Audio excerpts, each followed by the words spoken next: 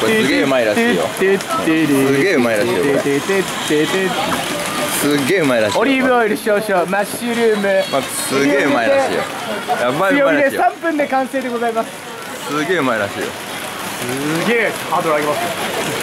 すげえうまいです。食べた時のリアクションがまたあれじゃん。楽しみだな。大変な時だよね。皮飛び込むしかない 何も言えねえっす。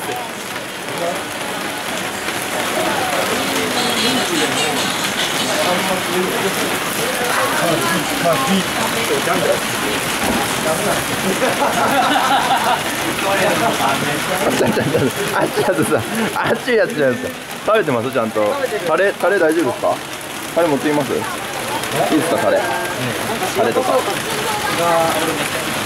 可愛い女の子がいて。可愛い女の子がいないとダメ。こんだけ揃っててもう何を言いますか本当。こんだけ揃ってて。ちゃんと俺を相手相手にしてくれる。あ相手にして。る言うだけじゃダメ。ほらみんな相手にして。相手にして可愛い女の子。よしさんがほら。あれをあれよしさん知ってます？あれ。なんか。あどうやって食べるか知ってます？知らない知らない。知らないですか？知らないで。今さっき聞かれたけど知らねえ。あれどうやって食べるんですか？ね焼くんですかね？焼いてれば食べれるのか。もどっちにしろ火は入れなきゃダメだそうですよね。これ何？これ何？これ何？ちょっとまずいもんだ。いつも島にいろいろから置いて。あれだよ目の中に入れるやつだよ。あ目ん玉目ん玉って火の目火の目。ハンターハンター ちょっとちょっと俺も生ハム食いたい派。食べたい食いたい派。俺も食べたい派。食べたくない派か食べたい派ジロンド派ジロンド派。で1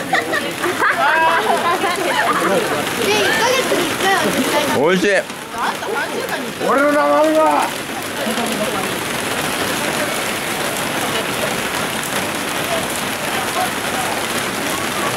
キャベツを食う子が。うめ生ハム生ハムうまい。